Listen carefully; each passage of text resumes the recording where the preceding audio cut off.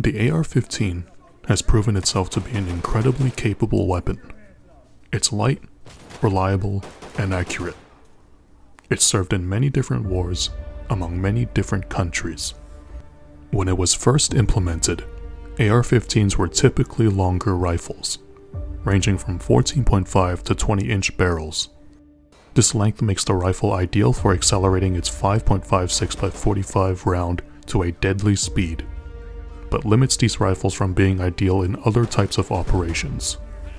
To this end, the US Naval Surface Warfare Center, Crane Division, produced a replacement upper for the M4 carbines that were issued to the Navy SEALs at the time. This upper was called the Close Quarter Battle Receiver.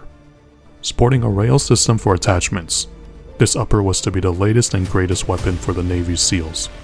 Since then, many other military and law enforcement units have procured the complete rifle, now named the Mark 18. So what is the Mark 18? How does this shorter rifle perform at distance? And how good is it, and ready or not?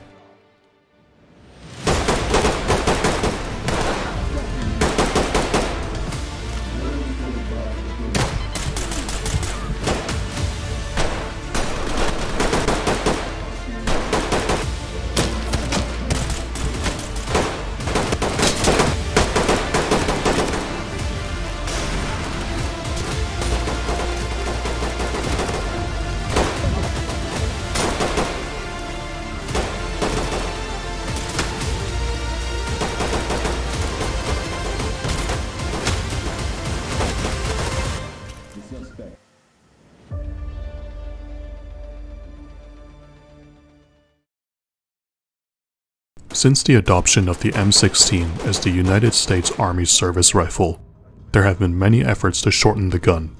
Beginning with the CAR-15, many different projects were started, with progress accelerating after the US Army Rangers stated their M16s were too unwieldy to use effectively.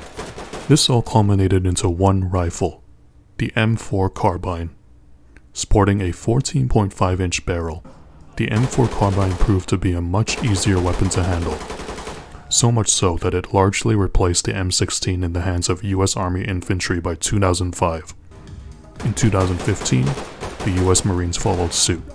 However, 14.5 inches was still too long for special operations units, whose operators required something shorter for the types of missions they typically went on.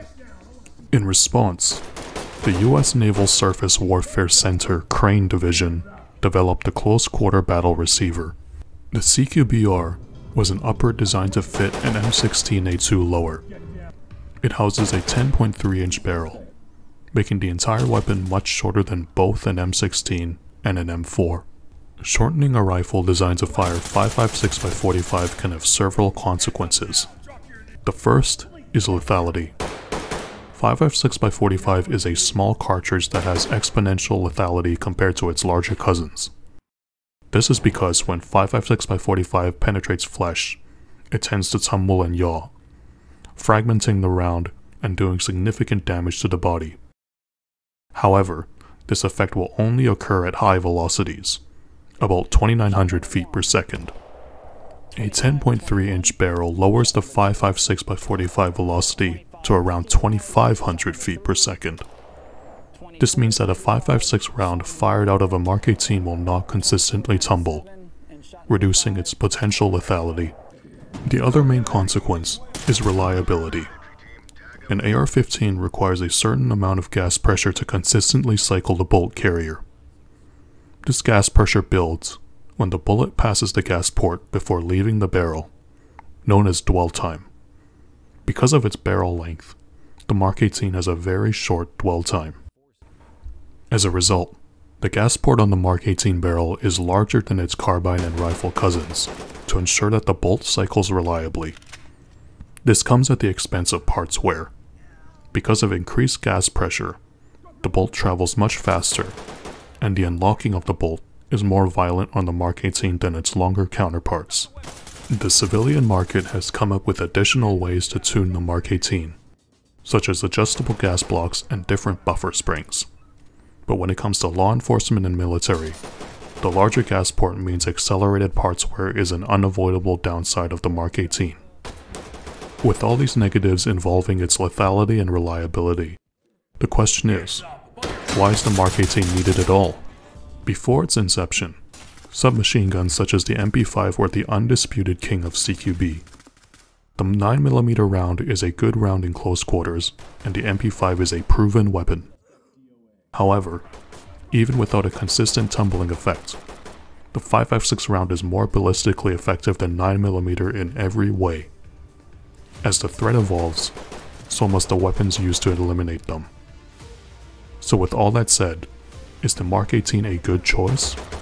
In Ready or Not, the real-world effectiveness of the Mark 18 carries over into the game. It's small enough to be maneuverable in close quarters, while doing more damage than some machine guns. It can also make shots out to range more effectively than any gun chambered in a pistol caliber. It's a great gun, and one of the best choices in Ready or Not.